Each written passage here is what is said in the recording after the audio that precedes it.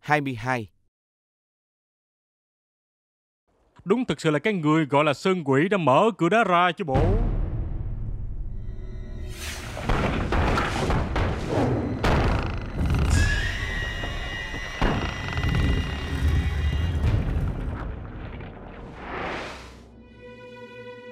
Ngoài gia trang đất trời rung chuyển không phải là sơn quỷ trận, Mà là địa ngu chuyển mình Chỉ là một hiện tượng à, tự nhiên mà thôi. Hiện tượng tự nhiên? Ừ, đúng vậy. Lý ở trong vô tâm cát Dùng phương pháp lục nhâm Bói ra thời gian cụ thể của hiện tượng địa ngu chuyển mình.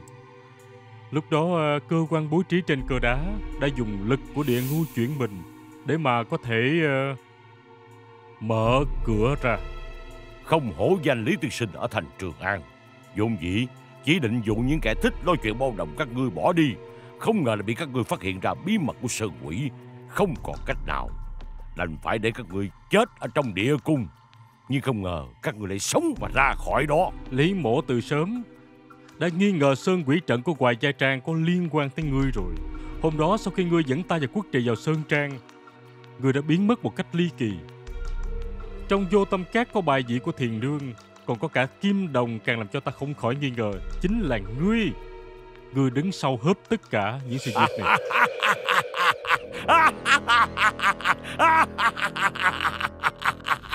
Không sai. Người hạ độc với người trong Hoài Gia Trang Chính là khưu vọng ta. Ta muốn biến Hoài Gia Trang thành địa ngục trần gian. Ta phải làm cho Hoài Gia Trang muôn kiếp không hề hồi sinh được. Ngươi bị điên rồi.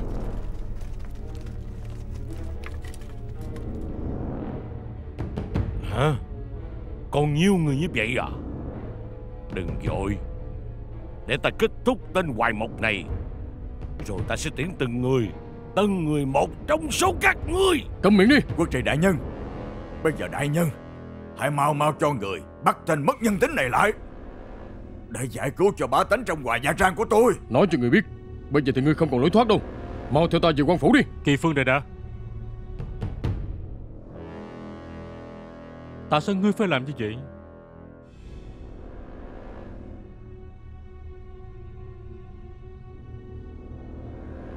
Là giúp một người báo thù. Vậy kẻ thù lớn nhất của ngươi Chính là ông ta hả?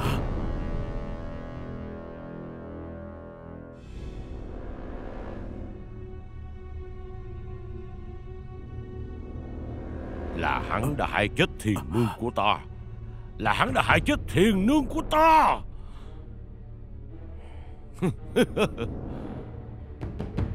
Các ngươi chỉ nhìn thấy bộ dạng lúc này của ta, Nhưng các ngươi không ngờ 20 năm trước, Khai quốc hộ phủ trong thành Trường An, Ta là một khưu công tử nổi danh.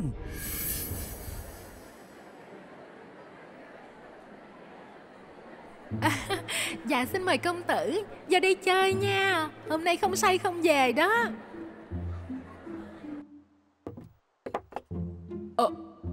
Ôi trời ơi.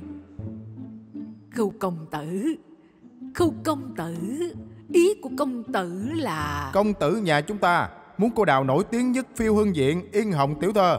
Qua đêm cùng công tử nhà chúng ta. Trời ơi Không giấu gì công tử. Yên Hồng nhà chúng tôi Chỉ bán nghệ chứ không có bán thân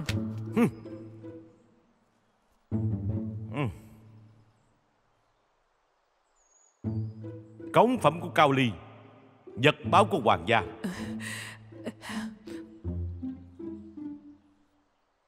Hử? Trời ơi.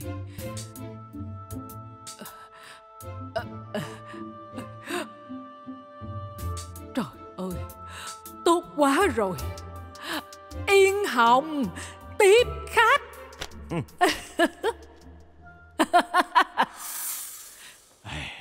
Phụ thân ta thấy ta phong lưu như vậy Nên muốn làm mai mối cho ta. Ta bỏ nhà ra đi ngao du bốn biển Chính nhờ ngày hôm đó, Bên bờ sông Hoài Gia Trang, Gặp được người con gái.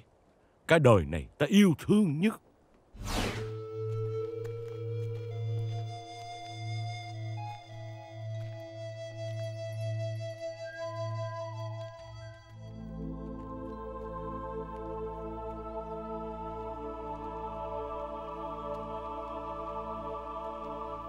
Quan quan thư khưu tại hạ chi châu yểu điệu tục nữ quân tử hảo cầu xâm si hạnh thái tả hữu lưu chi yểu điệu thục nữ ngụ mỹ cầu chi cầu chi bất đắc ngụ mỹ tư thục du tai du tai chuyển chuyển phản trắc. Thiếu gia À. Người phải lòng cô gái kia rồi. Thiếu gia đúng là có con mắt nhìn người Thiếu gia và cô gái đó đúng là trai tài gái sắc đó.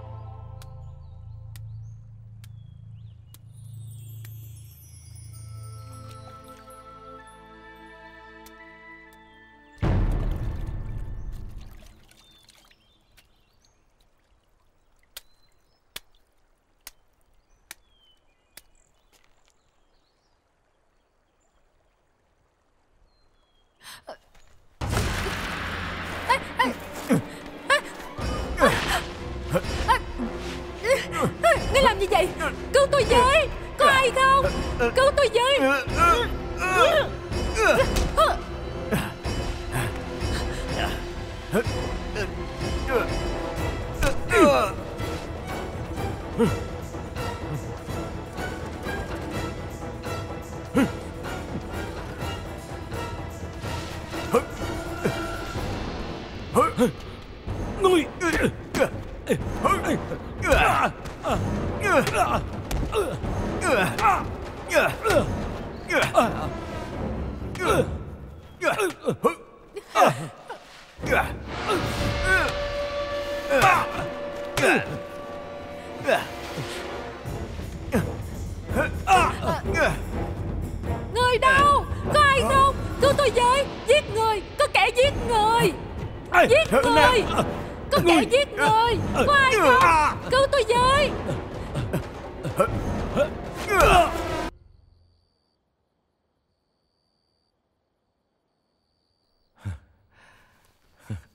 dám làm phiền thiền nương tiểu thơ.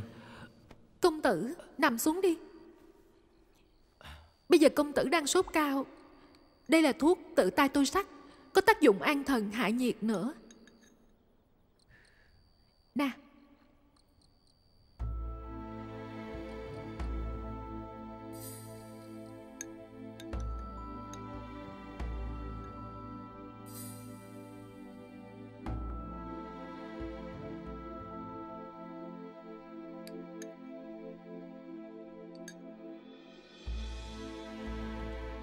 Đa tạ thiền nương đại tiểu thơ đã cứu thiếu gia nhà chúng tôi. Đa tạ thiền nương tiểu thơ.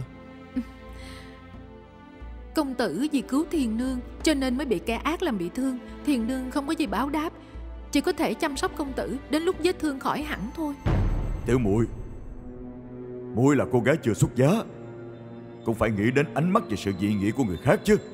Muội xin lỗi ca.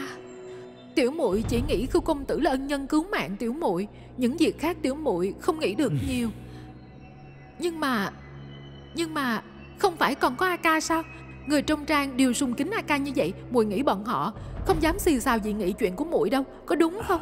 Nếu đã tin lời của A ca Thì khi nào vết thương hắn bình phục Lập tức đưa hắn rời khỏi Sơn Trang. Ừ? Những công tử hào hoa chốn kinh thành Đa số không đáng tin cậy đâu. Có hiểu không? Quy định của Hoài Gia Trang Thiền nương không dám chống lại. Gia huynh, Thân là trang chủ. Thiền nương, Càng không dám làm huynh ấy khó xử. Bởi vậy, Công tử xin hãy về đi, Tránh để người nhà lo lắng. Nếu ta chết, Linh hồn ta sẽ bảo vệ thiền nương tiểu thơ cả đời. Nếu ta không chết, Xin thiền nương tiểu thơ hãy lấy khu vọng ta. Hết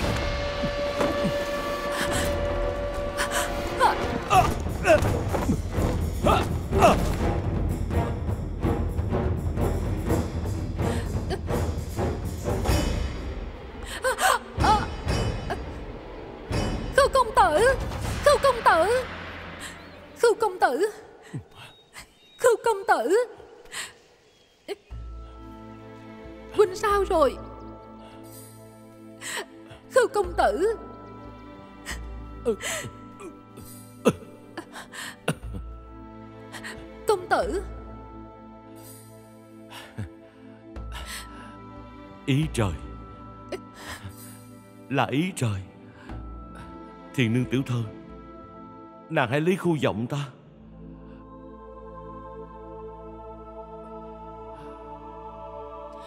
Khu vọng hôm nay, Tại nơi này sinh thề.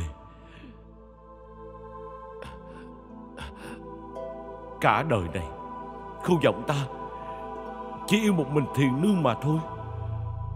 Sẽ không bao giờ thay đổi. Nếu trai lời thề Trời tru đất diệt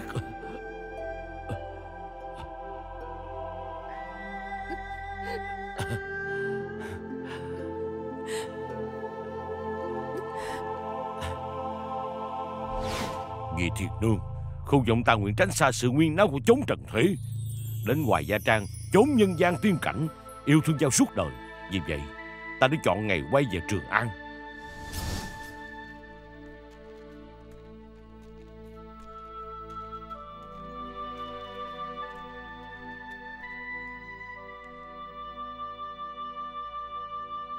Bảo trọng.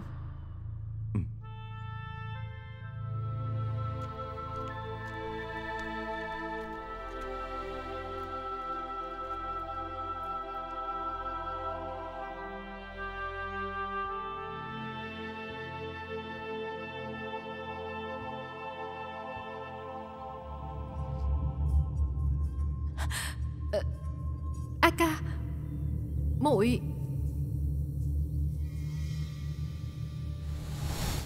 Nào ngờ. Sóng gió bất ngờ. Dương Quảng đoạt vị giết cha diệt huynh Thành Trường An thành một cảnh hỗn loạn. Phụ thân ta tuy là khai quốc hầu tôn quý, Nhưng vẫn bị tên nghịch thần Vũ Văn Quát giết chết. Lúc đó ta không có cách nào. Đành phải đem theo tài sản báo vật gia truyền phụ thân Để lại cho ta, Quay về Hoài Gia Trang. Tên ác nhân này, Lúc đó thái độ của hắn thay đổi hoàn toàn. Hắn đi nhiệt tình khoản đãi ta. Ta đưa vàng bạc châu báu ra cho hắn, Để xin kết hôn với thiền nương. Hắn đã đồng ý với ta, Làm ta vô cùng cảm kích. Ta nghĩ vậy là mình đã tìm được bằng hữu tâm đầu ý hợp Có thể nương tựa những năm về sau rồi, Nhưng mà thật không ngờ. Thật không ngờ. Ngươi đã muốn giết ta từ lâu rồi. Vì thiền nương, Vì cái chỗ châu báu đó ngay trong đêm đó. Huynh đệ Ta thật sự không ngờ. Huynh đệ lại là con cháu thế gia. Vậy mà lại không chê chốn thôn quê tầm thường này. Đó là phúc phần của tiểu muội ta từ mấy kiếp trước không phải. đó Không phải con cháu thế gia gì chứ. Đây chỉ là người gặp nạn. Được huynh trưởng thu nhận. Ai, Chỉ cần huynh trưởng Có thể làm chủ để tiêu đệ được kết hôn cùng thiền nương. Đây, Những vật phẩm tầm thường này. Xin huynh, Hãy thay đầy cất giữ. Cũng là để những người trong hoài gia trang Được sống những ngày tháng hạnh phúc.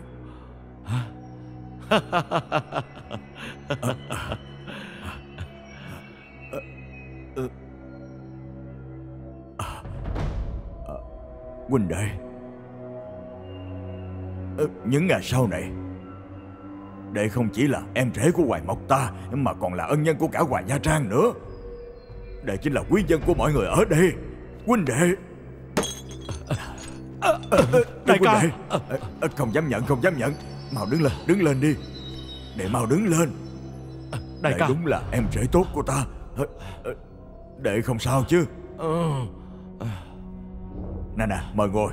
Nè nè ngồi đi ngồi đi Chúng ta tiếp tục uống nha. Nè. Nè gắn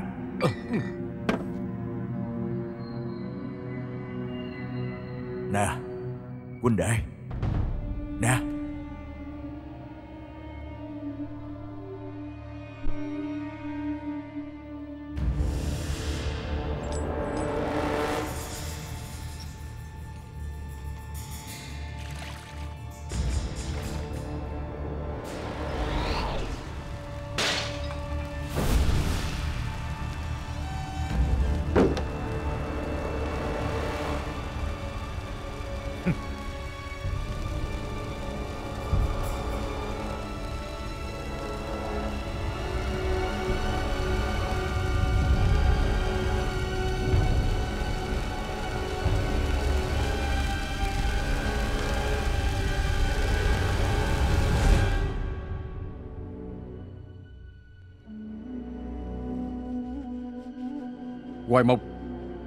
Ngươi khẩu Phật tâm xà Lòng lan dạ sói Âm mưu giết người cướp của.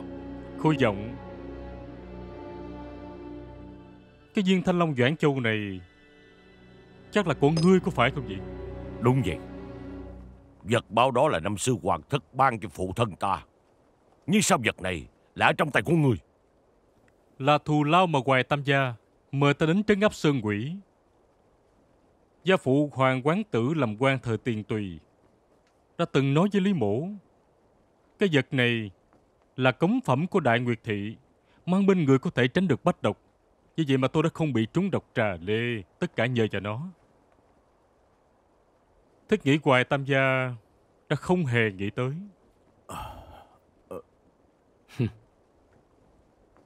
Chẳng trách Yêu đậu Chẳng trách ngươi có thể chịu được độc trà lê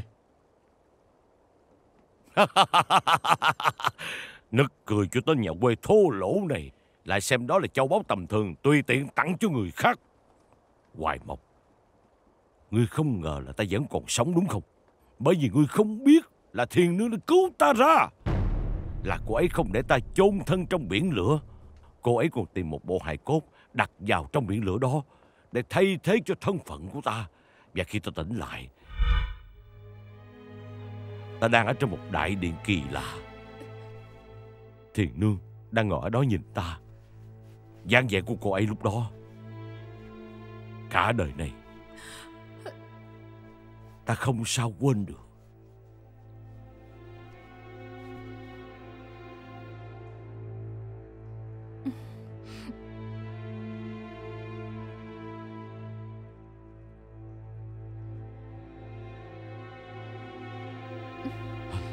Huh?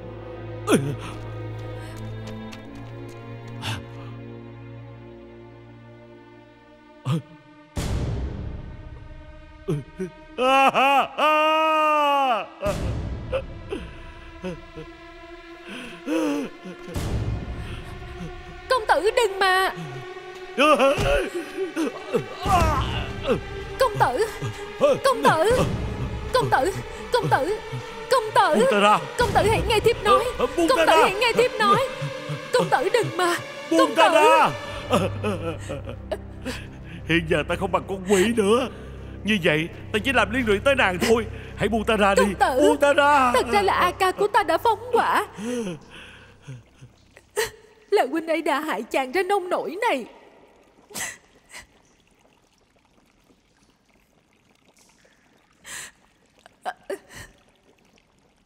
Thiện đương Không còn cách nào khác. Mạng này của thiền nương là hoài gia ban cho. Thiền nương xin nguyện, Đời này kiếp này Sẽ chăm sóc cho chàng. Ở bên cạnh chàng, Công tử, Đừng để một mình thiếp, Đừng bỏ mặt thiếp.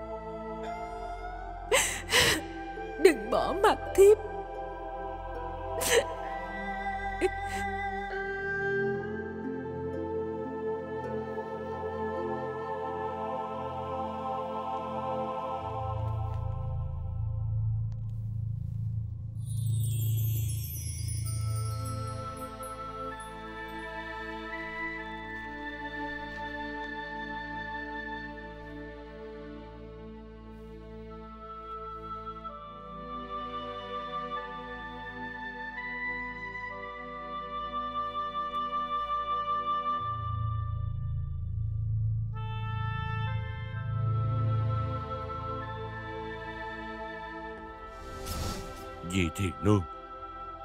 Ta đã bỏ ý định tự sát, Chọn cách sinh tồn. Bởi vì không ai trong các người biết được, Đời này kiếp này, Nơi mà ta hạnh phúc nhất chính là nơi đó. Trong địa cung dưới lòng đất, Không nhìn thấy ánh sáng mặt trời. Lúc đầu, Ta hiểu lầm thiền nương. Chỉ vì thương hại, Nên mới ở bên ta. Sau này thiền nương nói với ta Cô ấy cảm động với sự chân thành của ta? Còn ta Cũng vì tấm chân tình Và thân thế thê thảm của cô ấy Làm cho cảm động.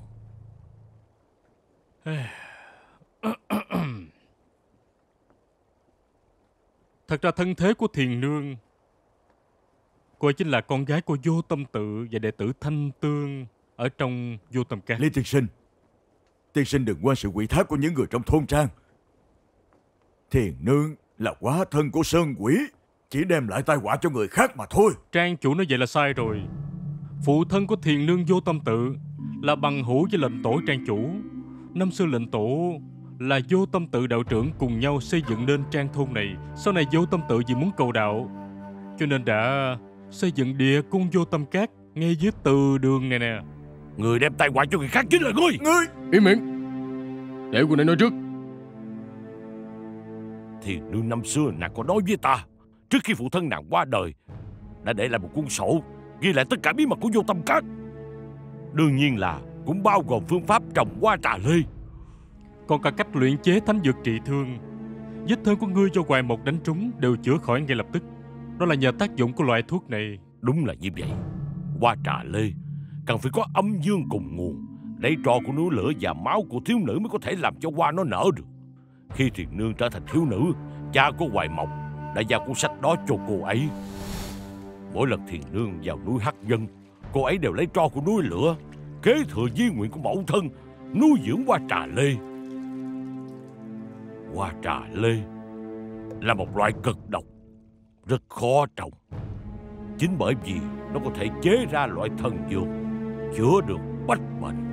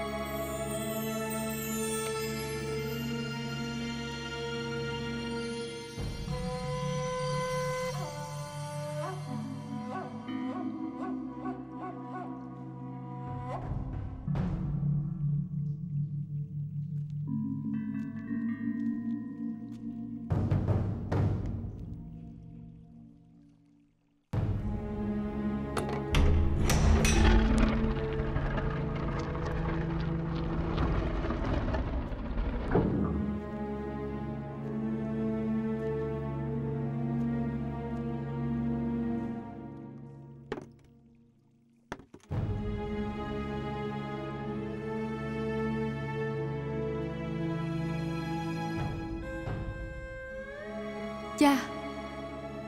Mẹ, Tâm nguyện của cha mẹ, Con gái đã thay cha mẹ hoàn thành. Cha mẹ hãy yên nghỉ đi.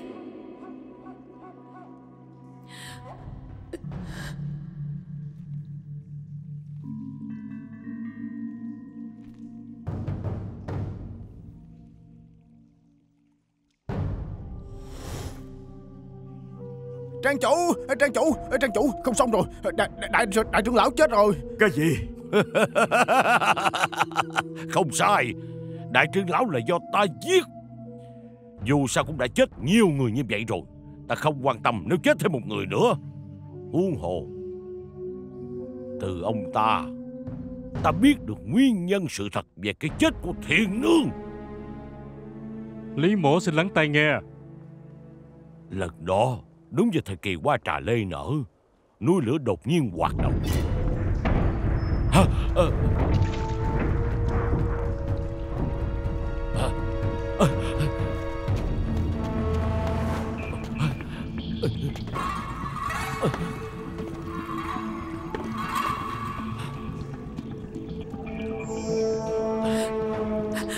Không xong rồi.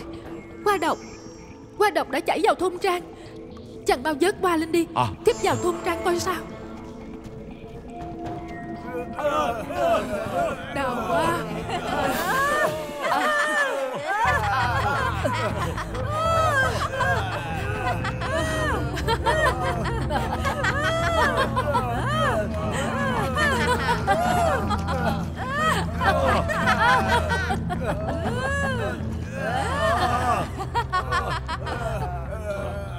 Đại trưởng lão. Hả?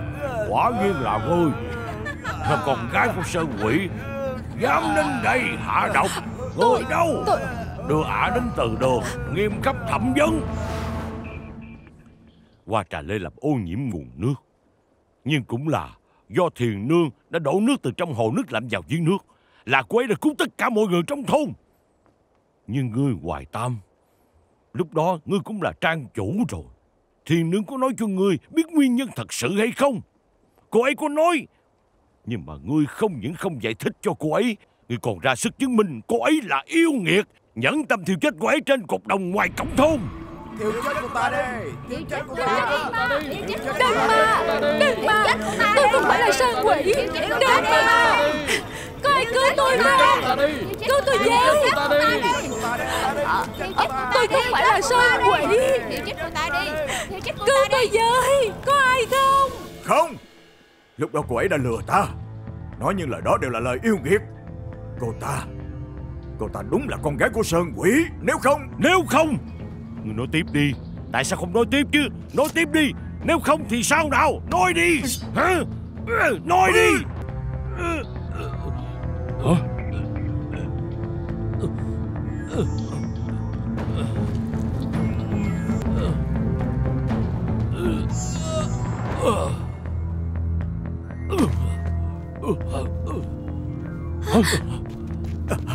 Đứng lại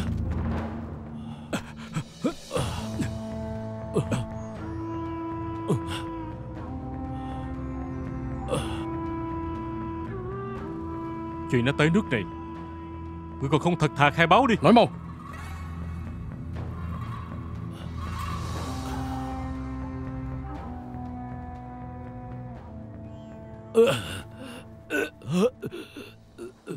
Được.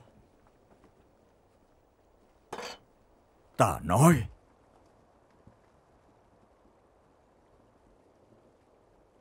Lúc đó thật ra Ta cũng giống như khưu vọng Yêu thiền nương một cách điên cuồng. Vì muốn không chế ý nghĩ tội lỗi đó, Ta đã không ngừng dằn vặt bản thân. Nhưng ta vẫn không thể nào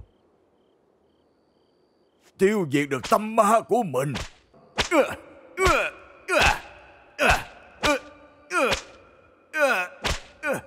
Thiền nương!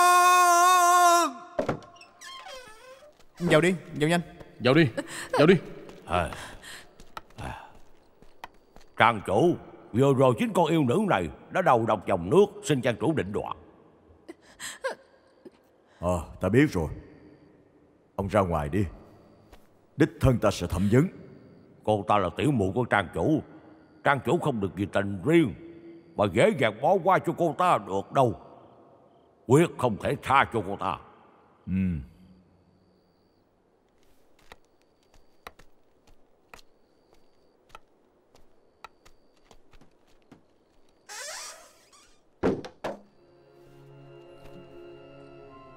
Thiền nương. Trước mắt có hai con đường cho muội lựa chọn. Muội muốn đi theo con đường nào?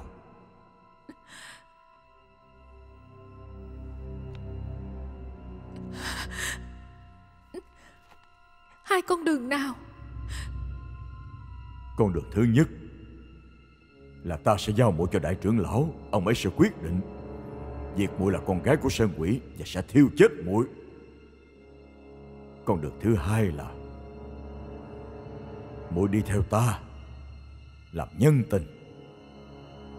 Ta có thể cầu xin Để tha chết cho muội. Chỉ cần muội nghe lời của ta Thì muội sẽ không phải chết. Thế nào hả? Lại đây. Cứu tôi Lại đây với! ta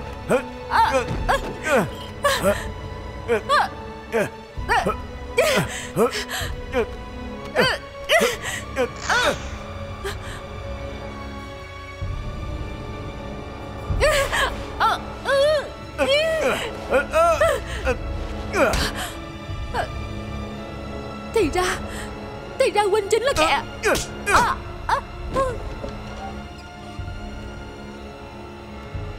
Trang chủ Cô ta đúng là đã biến thành sơn quỷ rồi. Lúc nãy Cô ta đã cắn ta nè. Hả? Hiểu rồi. Thiêu chết cô ta đi. Bắt lấy hắn ta. ta. Đi, Bắt lấy hắn ta. lại, Bắt lấy hắn hắn ta đi. Đi. Mau Bắt hắn ta. Hắn đi. đi Bắt hắn ta. Hắn. Bắt hắn Bắt ta. Lấy hắn. Thả ông ta ra.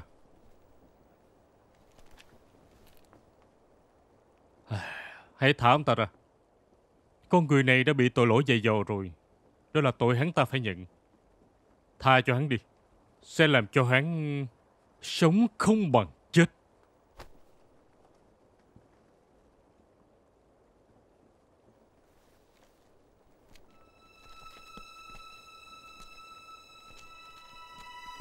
Nay chân tướng Sơn Quỷ đã được làm rõ rồi Chúng ta mau đi cứu người đi Ờ, Đi đi thôi, đi đi thôi, thôi. nhanh lên, đi, nhanh lên, đi, nhanh nhanh lên. Ờ, Không Không Lý tiên sinh Ngươi không được làm vậy Ngươi không được cứu những người đó Lý tiên sinh. Ờ, Lý tiên sinh. Ờ, Xin lỗi. Nhận tiền của người ta Phải giúp người ta lại bỏ tay ương. Một tay giao hàng một tay giao tiền. Già trẻ như nhau Quy tắc của tùy ý lâu Lý tiên sinh Lý tiên sinh Ngươi không được làm như vậy. Ờ, Cô giọng ta Sống đến ngày hôm nay Chính là vì muốn báo thù cho thiền nương. Ờ, Ngươi làm vậy Cô giọng ta. Có đi đến địa phủ, Cũng không còn mặt mũi để gặp ta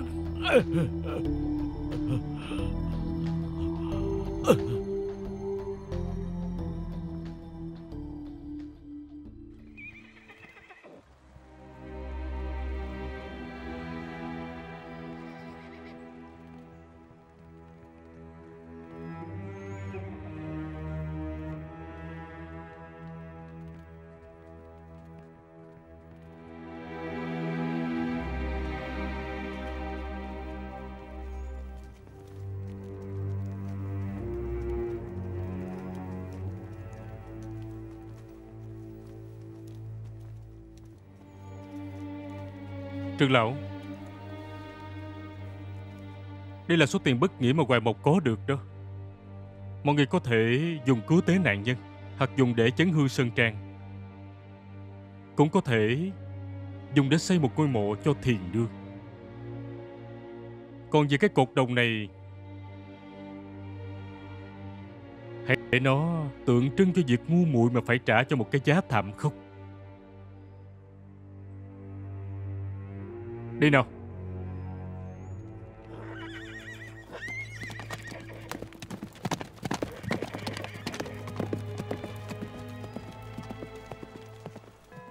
Bánh ngọt Ngọc thơm ngon đây. Mã vô. Ờ, tầm đủ loại đủ đây, màu ghé hết vô, đây. mua bánh ngọt đây. Ê, đi thông thả đi thông thả đi thông thả. Lần sau ghé nghe. À, ông chủ chào À, ông. xin chào xin chào xin chào. Ê, cuối cùng đã về rồi Ờ được rồi chúng ta vào trong nói chuyện đi. Đi.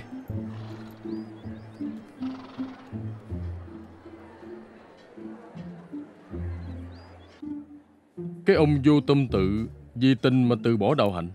Khưu vọng vì tình mà từ bỏ tính mạng. Hoài mộc vì tình yêu bất luân Mà tự tay thiêu chết thiền nương Mà ông ta yêu thương nhất. Yêu đạo. Hử? Quỳnh nói xem Những kẻ đa tình đều không tốt vậy sao? Cười cái gì quốc trị huynh bắt đầu lúc nào đã nghiên cứu ờ, vấn đề sâu xa này vậy Hôm nay ta thật lòng muốn thỉnh giáo huynh vấn đề này không phải nói đùa đâu. Ta không hiểu huynh nói xem. Chữ tình này lại có ma lực lớn tới vậy hả?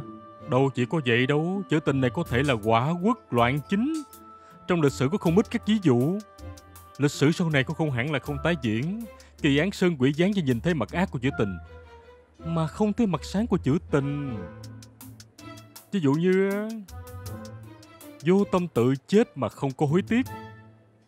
Còn thiền nương ờ, đã để lại cho cuộc đời khu vọng có thời gian đẹp nhất. Ừ? Hey, con người sống dài thì không quá trăm năm ngắn thì cũng chỉ mấy chục năm. Nếu như vô tình á đúng là vô vị quá trời. Hả? Những gì con người có thể làm được thật ra cũng chỉ tự mình làm chứ đâu phải do chữ tình làm. Nói hay. Ừ. Yêu đạo, không làm huynh sợ chứ. không có không có không có Huynh nói đúng đó. Ta có hơi kích động một chút. Nhưng mà yêu đạo ta hỏi huynh. Huynh có thể nào không làm mọi việc vì tình không? Ta hả? Đúng, nói Huynh đó. Hay, bây giờ chúng ta là huynh đệ cùng sống chết. Chỗ rượu này, hôm nay ta phải uống tới mức nghĩ gì nói đó. Có một số việc, ta sẽ nói tùy ý đó. Cô nói. Được. Huynh còn nhớ tối hôm đó, hôm mà chúng ta ở ngoài trời, nơi quan dã. Ừ. Ê, ta nói rồi, huynh để ta nói, để xuống. Để xuống đi. Không sai, huynh đoán đúng rồi. Nh- Những lời huynh và quận chúa nói đêm hôm đó, ta đều nghe hết rồi. Đường đường là một đại đường hiệu quý Vậy mà đi làm những chuyện dụng trộm dò la những chuyện riêng tư của bằng hữu Không phải hai người ở đó nói chuyện, nói lâu như vậy, ta muốn ngủ cũng không thể ngủ được, không muốn nghe cũng không được đó.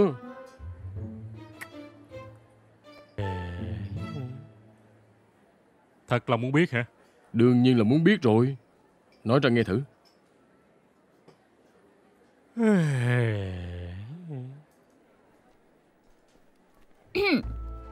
Ờ. quốc trì tham kiến quận chúa.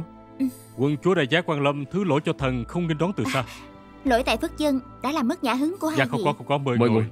Mời ngồi. Ờ Hoài Dung Cô đến thăm chúng tôi hả?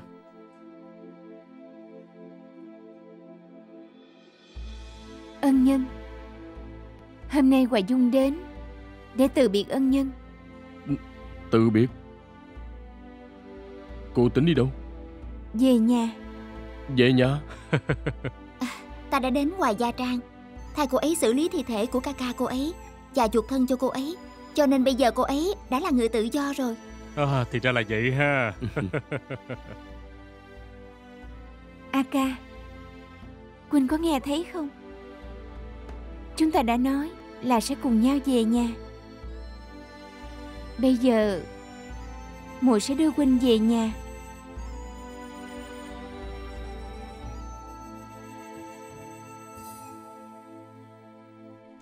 Hoài Dung cô nương, bảo trọng. Bảo trọng. Xin cáo từ.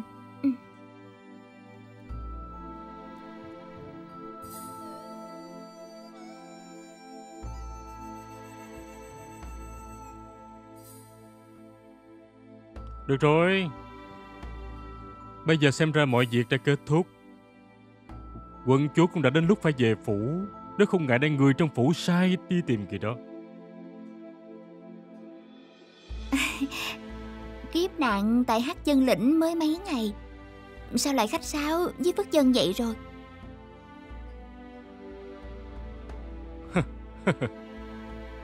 Có những việc ờ, có thể giữ lại. Nhưng mà cũng có những việc. Qua đi thì cứ để cho nó qua đi, Không cần phải giữ lại.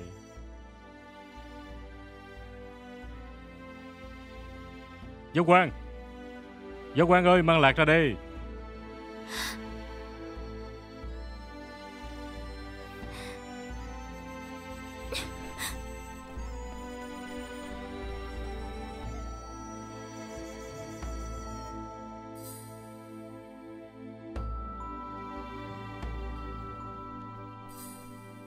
ờ, ờ, Quận chúa.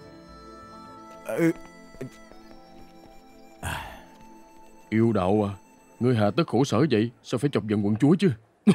Ta chỉ nói những gì cần phải nói thôi Làm những gì cần phải làm. Cũng không thể nói vậy được, quận chúa đối với ngươi.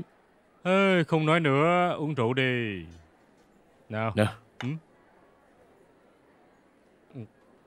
À, Đi thôi. Đi đâu vậy? Đừng ngắm sao.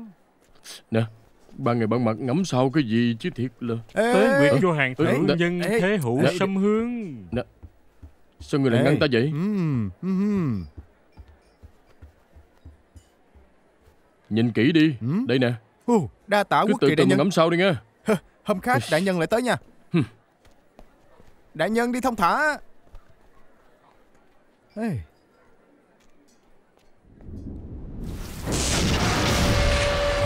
Ê, Trời ơi trời.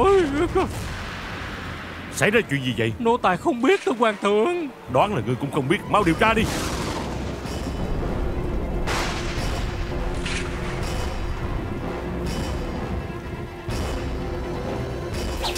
Hây,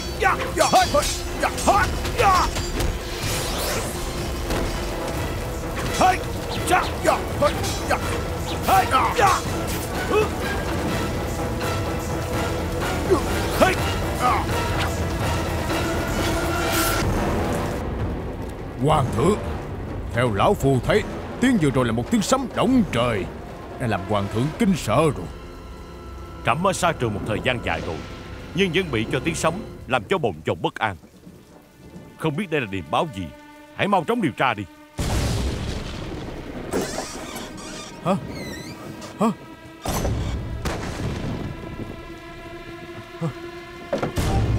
Nào nào. Cẩn thận cẩn thận cẩn thận cẩn thận.